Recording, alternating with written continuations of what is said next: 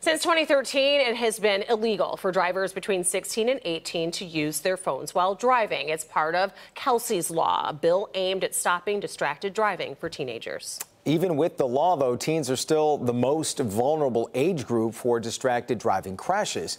Kim DeGiulio live this morning to explain how a law firm and a foundation are hoping to get kids to put those phones down. Kim?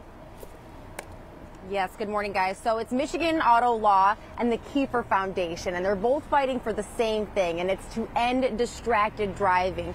The Kiefer Foundation was founded back in 2016 when Steve Kiefer lost his son, Mitchell Kiefer, uh, to a distracted driver. He was hit on I 96 and uh, he, he, was pushed onto oncoming traffic, and that is how uh, Mitchell unfortunately died. So now these two are teaming up to offer a scholarship to teenagers. This is for juniors and seniors seniors. They're asking them to use social media to talk to each other, tell them that distracted driving is dangerous. And they, it can be anything from a tweet, a YouTube video, even a graphic. But this scholarship, it used to be $5,000 in the past, but now because of this collaboration, it is worth $10,000. So there's even more incentive there. And what better way than to use social media to get teenagers to talk to each other? Yesterday, I spoke with the founder of the Kiefer Foundation, Steve Kiefer, about why this partnership is so important and how doing things like this, educating teens, helps him with the process of mourning the death of his son.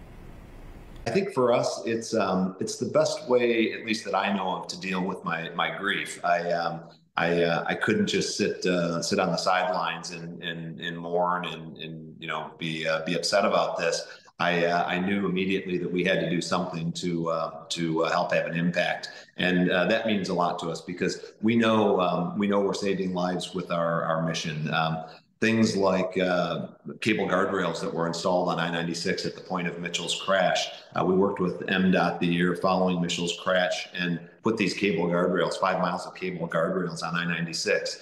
We thought it was a bit of a symbolic gesture, but those were hit 12 times in the first year.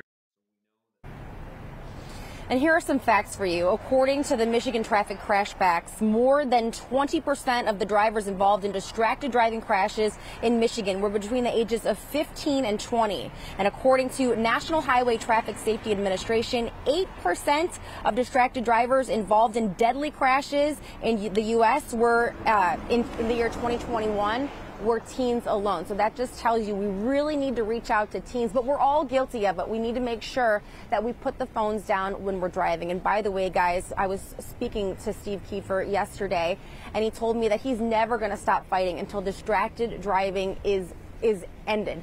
And by the way, today would have been his son Mitchell's 26th birthday. So how real is that? Just a reminder uh, that this is these are real lives we're talking about here the phone can wait, the text can wait. Put the phone down, get to where you need to be before you open your phone and look at that text message. Guys, back to you.